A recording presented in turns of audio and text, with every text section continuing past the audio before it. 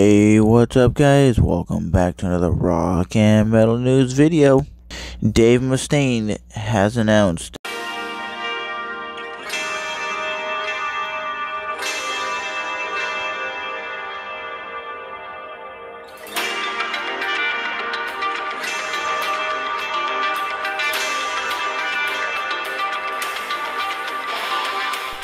So according to Dave Mustaine, all David Ellison's bass parts have been deleted off of the new album and have been recorded by a new mystery bass player. It's very sad to see a 30 year old friendship tossed by the wayside due to some controversy.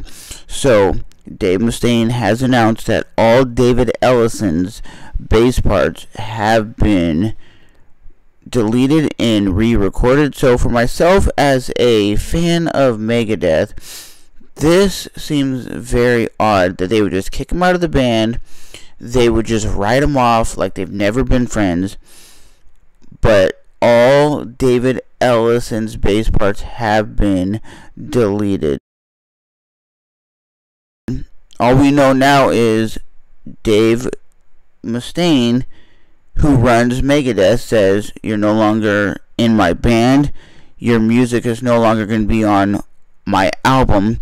And Dave Mustaine saying, we got the new record pretty much recorded, ready to go, and we're going to be out there touring in 2021. So let me know what you guys think in the comment section below.